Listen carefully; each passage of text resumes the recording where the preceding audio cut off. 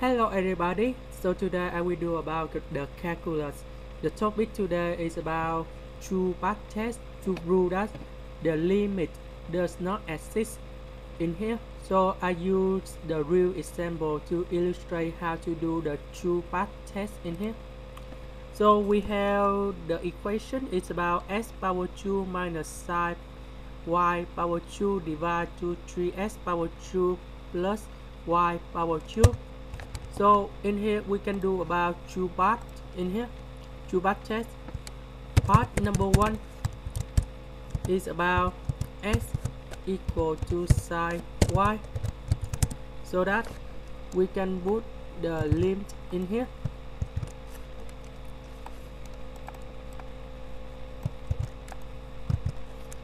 Now s e become the sine y. We change to the sine y in here so in here we got about sine power 2y minus sine power 2y and uh, we have s in here they will become to the side in here.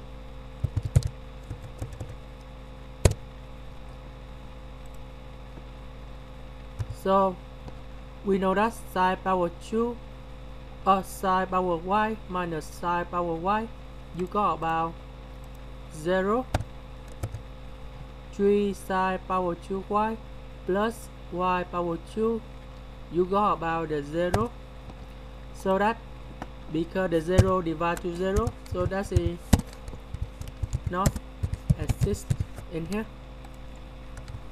Part number 2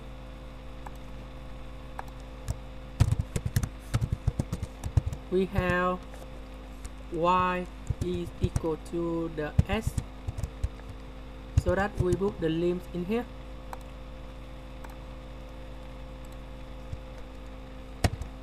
So this is about s and s. And they go to the 0 and 0 in here. We have y equal to s so this is about s power 2 minus sine s power 2 2 3s power 2 plus s power 2 and we got about 3s power 2 is about 4s power 2 in the 4s power 2 we can divide s power 2 divided to 4s power 2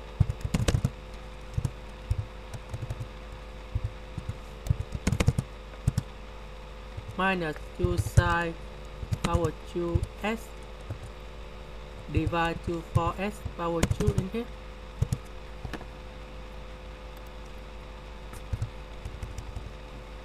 So we know that s power 2 divided to 4s power 2 you got about number one and uh, we have the limb in here. Is about 1 over 4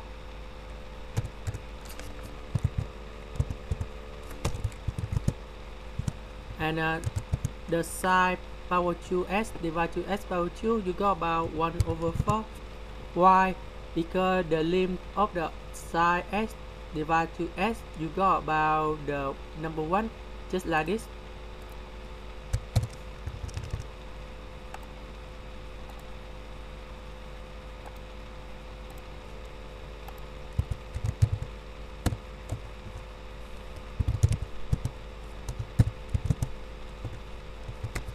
this is the formula. So we have 1 over 4 minus 1 over 4 and we got about 0 so after the part number 1 and part number 2 we can conclude that we approach into two paths but the result are different then we can say that the limit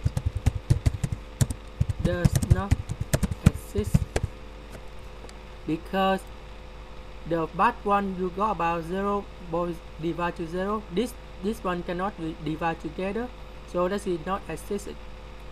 This one is about get about the zero that's why you go about the real number is only zero so we can conclude that the limit does not exist so that's it the end. Thank you for watching